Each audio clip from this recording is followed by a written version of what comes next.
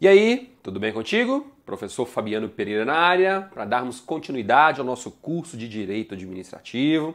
Só que antes de nós continuarmos a tratar do tema licitação, quero só chamar sua atenção para o seguinte: clique aqui agora e se inscreva em nosso canal para que você seja notificado, notificado sempre que eu postar um novo vídeo por aqui. Só que não basta se inscrever no nosso canal, clicar aqui embaixo. Depois tem um sininho aqui em cima, você vai clicar nesse sininho para que você seja notificado ou notificada automaticamente, ok? E aqui na descrição do vídeo tem um link para você baixar o nosso e-book e se preparar com muito mais eficácia para os próximos concursos que estão por vir. E além disso, aqui também na descrição do vídeo você vai encontrar o link para acessar o nosso grupo de estudos lá no Facebook, onde constantemente nós temos algumas aulas ao vivo, nós temos alguns debates sobre temas importantes do direito, ok? Vamos lá então. Na aula anterior, nós encerramos falando sobre a publicação do edital. Então nós sabemos que a administração pública ela tem que realizar a publicação do edital com um prazo mínimo de antecedência. Foi isso que nós vimos na última aula. Então nós estamos falando das etapas que compõem a fase externa do processo licitatório. E hoje nós vamos ver que a administração pública, ao publicar um edital, ao divulgar um edital, ela fica sujeita a ter que responder às impugnações que forem apresentadas por terceiros. Uai, professor, como assim? É o seguinte: quando a administração publica um edital de licitação, todas as pessoas têm o direito de ter acesso a esse edital de licitação. E se entenderem que alguma cláusula do edital contraria a legislação vigente ou algum princípio geral do direito, qualquer pessoa pode impugnar a essa cláusula que supostamente está violando a lei, que supostamente está violando os princípios gerais do direito.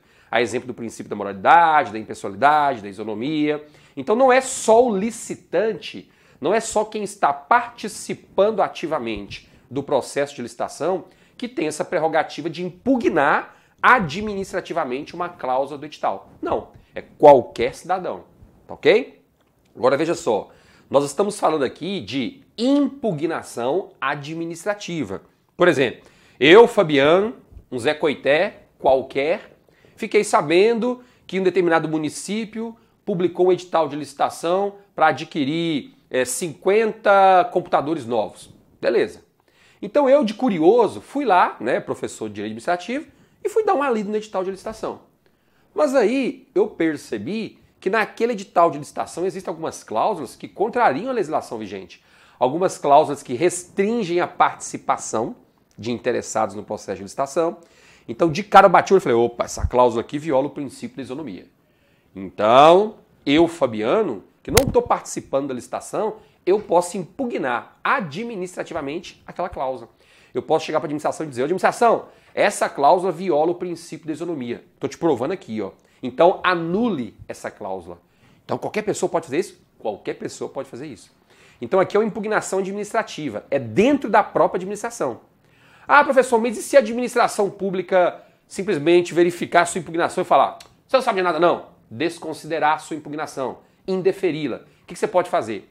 Aí, nesse caso, eu posso ainda procurar o Ministério Público, eu posso procurar o Tribunal de Contas e, em última análise, eu posso até ingressar com uma ação judicial. Então, eu posso ingressar com uma ação judicial solicitando ao juiz que determine a nulidade daquela cláusula contida no edital de licitação. Claro que é uma, essa procura ao judiciário ela vai acontecer em última análise. Se eu não conseguir resolver isso interna, administrativamente, com a própria administração, aí é que eu tenho essa possibilidade de ingressar com uma ação judicial solicitando a anulação daquela cláusula que eu particularmente julgo ilegal. E vou apresentar meus argumentos. Se o juiz entender que meus argumentos procedem, ele vai me dar uma liminar, provavelmente para suspender o processo de licitação até a regularização daquela cláusula. Ok? Então, cuidado com isso, tá? Nós estamos falando aqui de impugnação administrativa. Só se essa impugnação administrativa não resolver o problema é que eu posso, não sou obrigado, eu posso propor uma ação judicial. Mas se eu não quiser mexer com o judiciário, eu vou ter que contratar advogado, talvez gastar dinheiro. eu posso simplesmente levar esse fato ao conhecimento do Ministério Público. Ou promotor, olha o que aconteceu, fiquei sabendo disso, disso, disso, disso, toma providência aí, por favor, já que o senhor é o guardião do cumprimento da lei. Beleza. Ou então levar esse fato ao conhecimento do Tribunal de Contas. Ó, Tribunal de Contas, fiquei sabendo disso, disso e disso, se você entende que existe alguma ilegalidade, adote as providências. Acabou. Eu só levo esse fato ao conhecimento do órgão. A partir daí, aquele próprio órgão, seja o Tribunal de Contas, seja o Ministério Público, é que vai adotar as providências cabíveis. Beleza? Então vamos fazer um resuminho aqui. Olha só. Olha o que diz o artigo 41, parágrafo 1. Qualquer cidadão ou participante do processo licitatório é parte legítima para impugnar o edital de licitação quando este contrariar a legislação vigente ou os princípios gerais do direito administrativo. Óbvio que aqui eu não coloquei ipsiliteris o que está escrito no artigo 41, parágrafo 1, tá? Mas o, o artigo trata desse, dessa mesma informação de uma forma um pouquinho diferente. Aqui é o que eu, que eu quero que você grave, tá bem? Então veja, tanto o licitante quanto o participante do procedimento licitatório, aquele que quer vender para a administração, eles podem impugnar o edital. Mas aí é que vem o X da questão. Ó, o prazo para essas impugnações é diferente para o cidadão e para aquele que está participando do processo licitatório. Olha só, o cidadão ele pode impugnar o edital de licitação até cinco dias úteis antes da data fixada para abertura dos envelopes de habilitação. Então, cuidado, tá? Envelope de habilitação, que é aquele envelope contendo a documentação do licitante. Tá ok? Já falamos sobre isso. Só que a partir do momento que esse cidadão impugnar aquela cláusula do edital, a administração vai ter que responder, responder a essa impugnação em até três dias úteis. Tá bem? Então são dois prazos diferentes. O primeiro prazo é o prazo que o cidadão tem para impugnar. O segundo prazo é o prazo que a administração pública tem para fornecer uma resposta para aquele cidadão. E aí vem o segundo legitimado a realizar a impugnação, que é o licitante. O licitante pode realizar essa impugnação até o segundo dia útil que anteceder a abertura dos envelopes de habilitação em concorrência, a abertura dos envelopes com as propostas em convite, tomada de preço ou concurso, ou então realização do leilão. Tá bem? Então, o que a banca cobra em prova? A banca vai cobrar em prova essa diferença de prazos. Aqui, licitante até o segundo dia útil, cidadão até cinco dias úteis antes da data fixada da abertura dos envelopes. Beleza? Aí vem. A impugnação feita tempestivamente pelo licitante não o impedirá de participar do processo licitatório até o trânsito em julgado da decisão a ela pertinente. Ou seja, eu sou um licitante, tá ok? Eu sou um licitante. Então, o fato de eu ser um licitante e ter impugnado administrativamente uma cláusula do edital não me impedirá de participar do processo licitatório. Tranquilo? Não me impedirá. Então eu posso continuar participando sem problema algum. Então eu continuo participando do processo licitatório, ainda que eu tenha impugnado determinada cláusula. Continuemos. É, a partir de agora, vamos falar sobre a comissão de licitação. Então finalizamos aí esse estudo sobre é, a impugnação administrativa, né? E vamos falar um pouquinho agora sobre a comissão de licitação. O que é uma comissão de licitação? Comissão de licitação é aquele órgão que fica responsável por conduzir todo o processo licitatório. Então é a comissão de licitação que fica responsável, por exemplo, pela elaboração do edital de licitação. É a comissão de licitação que fica responsável pela análise da documentação dos participantes da licitação. É a comissão de licitação que vai analisar eventuais recursos, vai decidir sobre eventuais recursos. É a comissão de licitação que vai selecionar a proposta mais vantajosa para a administração pública. Então, tudo isso fica a cargo de quem? Tudo isso fica a cargo da comissão de licitação. Para ficar mais fácil de entender, você pode fazer um paralelo entre a comissão de licitação e a comissão de concurso público, porque a função é praticamente a mesma. Claro, né? Nós temos aí finalidades diversas, mas na prática o trabalho é muito parecido. Então, provavelmente você sabe muito bem como é que funciona o trabalho, como é que funcionam as atividades de uma comissão responsável pela elaboração de um edital de concurso, e o que ela faz durante o, edita, durante o concurso, né? Aqui é, é uma situação muito semelhante, tá ok? Então você pode fazer esse paralelo para entender melhor. Então essa comissão de licitação, ela é que vai conduzir todo o processo de licitação. Porém, existem algumas informações previstas em lei que vão disciplinar e regulamentar o funcionamento da comissão ou das comissões de licitação. Tá bem? Vamos aprofundar um pouquinho mais aqui. Olha só. O artigo 51, ele diz o seguinte: a habilitação preliminar, que é aquela fase de análise da documentação, a inscrição em registro cadastral, depois vamos falar sobre isso com mais calma, né? A sua alteração ou cancelamento e as propostas serão processadas e julgadas por uma comissão permanente ou especial de no mínimo três membros, sendo pelo menos dois deles, deixa eu até destacar isso aqui, ó, pelo menos dois deles, servidores qualificados pertencentes aos quadros permanentes dos órgãos da administração responsáveis pela licitação. Então vamos por partes aqui. Primeiro, aqui está dizendo que tanto a comissão permanente quanto a comissão especial serão compostas de, no mínimo, três membros. Tá? Podemos então ter uma comissão de licitação com uma quantidade superior de membros? Com certeza. Mas, no mínimo, três membros. Três membros, né? E aqui se faz uma diferença entre comissão permanente e comissão especial. Os próprios nomes, as próprias nomenclaturas já nos dão uma dica do que isso significa, né? Comissão permanente, como o próprio nome já diz, é aquela que terá sua atuação ininterruptamente. Ou seja, nós temos, por exemplo, um grande órgão, um ministério, por exemplo, um tribunal, que tem uma comissão permanente. Porque durante o ano inteiro, aquele tribunal, aquele órgão está sempre contratando, está sempre adquirindo bens. Então ele precisa de uma comissão permanente para conduzir aqueles processos de contratação, de aquisição de bens.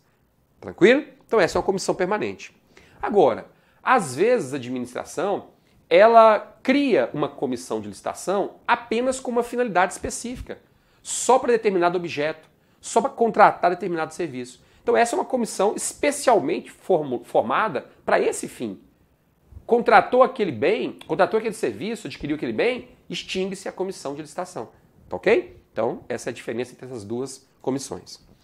Então elas são formadas por no mínimo três membros, sendo pelo menos dois deles servidores qualificados pertencentes aos quadros permanentes dos órgãos da administração responsáveis pela licitação. Tá ok?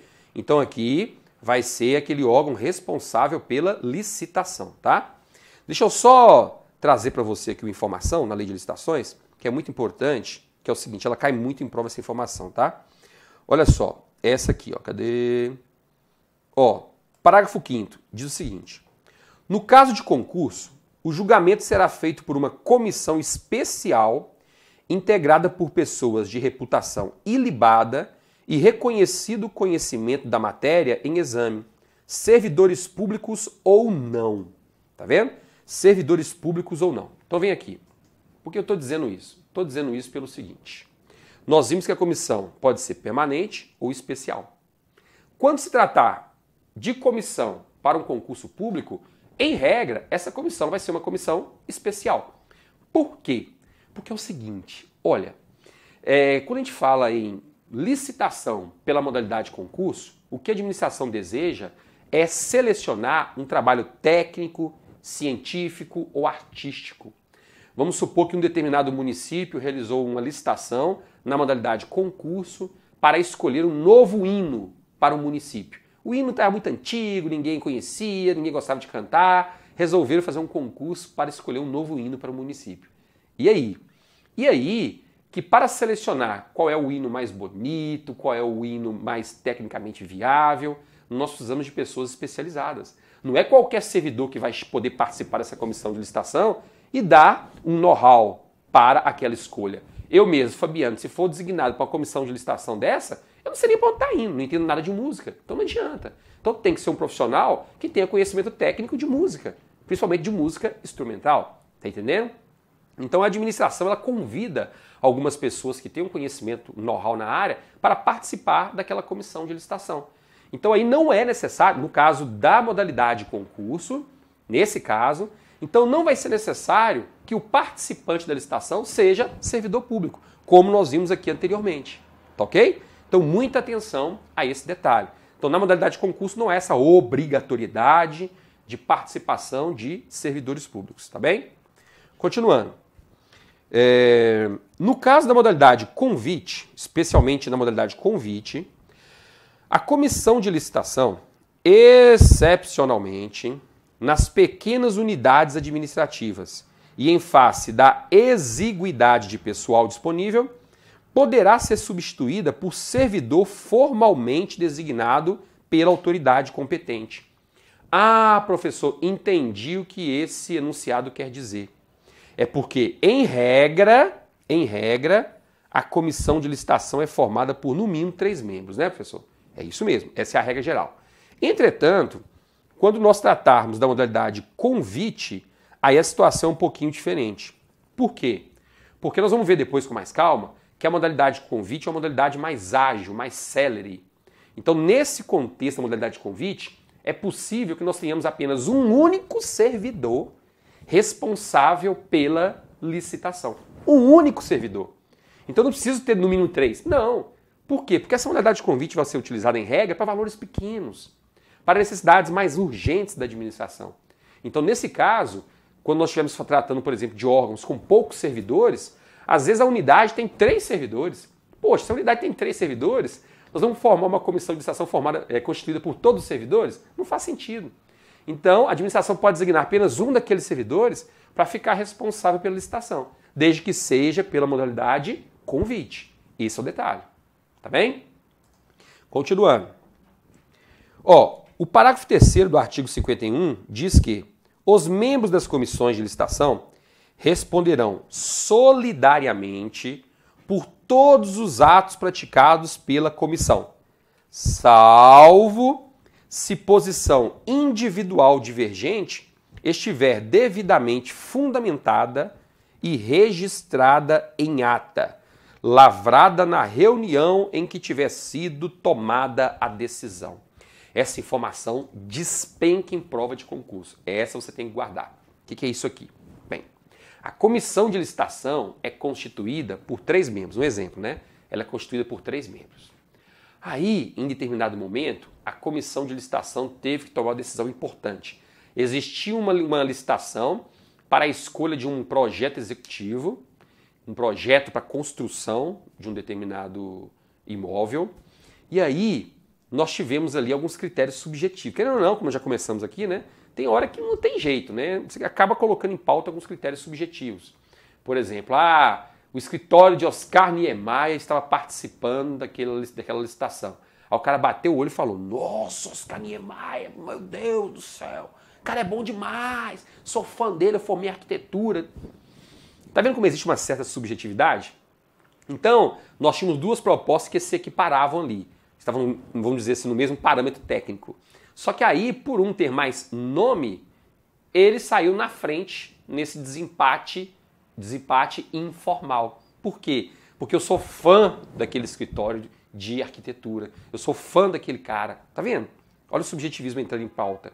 Então veja, em determinado momento, aquela comissão de licitação tinha que escolher a proposta mais vantajosa.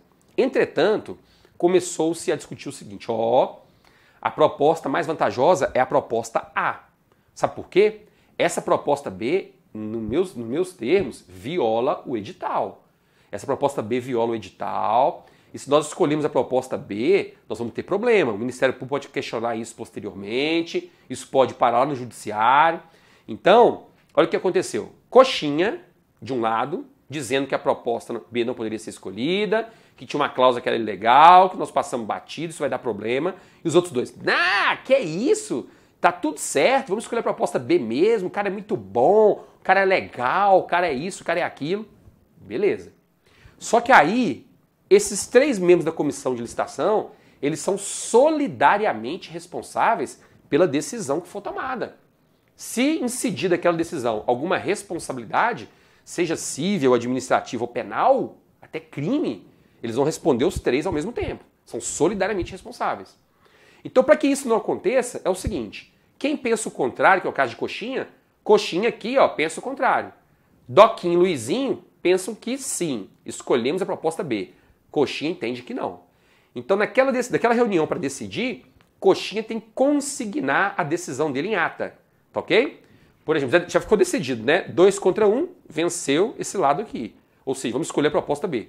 Só que aí, na hora de lavrar a ata, a Coxinha coloca o seguinte: olha, é, no dia tal, a comissão de licitação se reuniu para decidir sobre a proposta mais vantajosa para a administração, em que ficou acertada a escolha da proposta B. Entretanto, o, o, o membro Coxinha é, relatou em sessão que não concordava com a escolha da proposta B, porque existiam algumas cláusulas no edital que contrariavam é, a lei de licitações, então ele quer registrar para futuras análises. Ponto. Então deixou bem clara a posição dele. Se amanhã ou depois isso der alguma complicação lá na frente, o que vai acontecer? Em tese, Coxinha está resguardado, porque ele não concordou com aquela decisão que os outros dois membros da comissão tomaram. E que vence a maioria, então prevaleceu o entendimento de Doquinha e Luizinho. Beleza? Então isso é muito importante, isso cai demais em prova, tá? Ó, a investidura dos membros das comissões permanentes não excederá a um ano. Tá vendo? Um ano participando da comissão de licitação.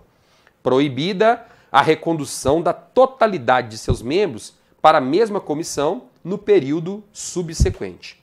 Tá bem? Então, o mandato do membro de uma comissão permanente, ele vigora por quanto tempo? Por um ano. Quantos membros tem a comissão de licitação permanente? Ah, vamos pegar um exemplo mais simples, né? Aqui nós temos três membros da comissão permanente. Então, eles vão exercer ali, entre aspas, um mandato de um ano. Não é possível que esses três membros sejam reconduzidos para mais um mandato de um ano. Tá? Os três de uma vez só não. Pode ser que dois sejam reconduzidos e um não seja. Agora, todos, a totalidade de seus membros não pode ser reconduzida. Temos que ter uma variação desses membros da comissão de licitação. Tá ok? Então veja, sobre comissão de licitação, basicamente era isso que nós tínhamos que saber. Agora, eu quero só que você entenda que esse assunto cai em prova. Isso cai em prova. As bancas cobram demais, demais, demais. Então depois dê uma lida com mais calma lá no artigo 51, para você se inteirar de todo o texto, tá bem? E olha só, para te provar que isso cai em prova, olha essa questãozinha aqui, ó. No concurso público para auditor do Tesouro Municipal da Prefeitura de Natal, a ESAF considerou correta a seguinte assertiva. Na modalidade de concurso, o julgamento deve ser feito por comissão especial que detenha conhecimento especializado, não havendo necessidade de ser composta por servidores públicos. E aí? Certinho, tá vendo? Então, essa informação cai demais em concurso e é bom que você fique atento ou atenta para não errar no futuro, tá bem? Então por hoje é só. Se você gostou da aula, dá o seu like aqui agora, clique no joinha, poste aqui os seus comentários, que você já percebeu que eu estou passando por aqui respondendo, né? Eu vou responder sim. E quando eu encontrar alguma dúvida um pouquinho mais complexa, alguma dúvida mais interessante, eu pego essa dúvida e gravo um vídeo especial sobre ela. Combinado? Bons estudos para você. Até mais.